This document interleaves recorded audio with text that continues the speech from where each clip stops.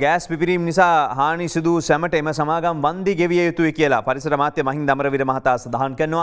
Gas ටැංකිවල ඇති gas කාන්දුවීම් රටපුරා වාර්තා වනවා. ගෑස් පිපිරීමක් නිසා ඇතිවෙච්ච ගින්නෙන් කාන්තාවක් පාම මිය ගිහිල්ලා තිබෙනවා. මේ ගැටලු සම්බන්ධයෙන් අනිවාර්යෙන්ම මේ සමාගම් මේ සමාගම් ඒ අයට වන්දි ගෙවන්නට ඕන කියනක තමයි අමාත්‍යවරය සඳහන් කරන්නේ ගෑස් භාවිතා කරන අහිංසක මිනිස්සු මේවට වගකීමට අවශ්‍ය වන්නේ නැහැ.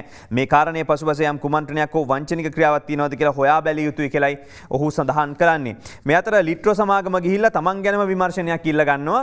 ලිට්‍රෝ ගෑස් ආයතනයට එරෙහිව විවිධ චෝදනාවන් පිළිබඳව විමර්ශනයක් පවත්වන්න කියලා ලිට්‍රෝ ගෑස් සමාගමේ සභාපති තෙසාර ජයසිංහ අපරාධ පරීක්ෂණ දෙපාර්තමේන්තුවට පැමිණිල්ලක් ඉදිරිපත් කරනවා. පදනම් විරහිතව ආයතන නගන චෝදනාව වෙනුවෙන් ආයතනය අගතියට පත්වනවා කියලා ඔහු කියන්නේ. ඊයේ පෙරවරුවේ පැමිණ මේ සම්බන්ධයෙන් පැමිණිල් ඉදිරිපත් කරා කියලා සඳහන් කල තියනවා. ති පදනම් විරහිතයි කියන්න අවශ්‍යතාවයක් නෑ. ඒ සම්බන්ධව අමාත්‍යවරයා පාර්ලිමේන්තුවේ ප්‍රකාශයක් කලා ඉන් පිටත ප්‍රකාශයක් කලා ඒ සම්බඳධ පරීක්ෂණ වාර්තා තිබෙනවා. ඒ සම්බන්ධ විශේෂම කංජතෙල් නීතිගත් සංස්ථාවේ වාර්තා තිබෙනවා. ඒවගේම අදාළ ස්ථානවල ස්ථානීය පරීක්ෂණ වාර්තා තිබෙනවා. සහ ඒවා සම්බන්ධයෙන් ජනතාවගේ මැසිවිලි තියනවා. මිය ගිහිල්ල තියෙන මිනිස්සුති. පදනම් විරහිතව ඔබට චෝදනාවක් කෙල්ල කරනවා කියලා ඔබ හිතනවනම් ඔබේ ආයතන හිතනවන එක ඉතාමත් කනගාටු දායකයි ඉතින් මේ තියෙන නීතියෙන් රිංගල හෙමනත්තන් තිබිච්ච තත්ව වෙනස් කර කියන එක තම් සම්බන්ධයෙන් ඔබ ආපහු පාරක් ප්‍රසිද්ධ ප්‍රකාශයක් කළ යුතු එක දෝලනය වෙනවා හට මෙහට යනවා කියල කරන ප්‍රකාශයෙන් පුළුවන්ද මේ සිදුවන විනාශය වහන්න කියනක තමයි හන්න තියන්නේ.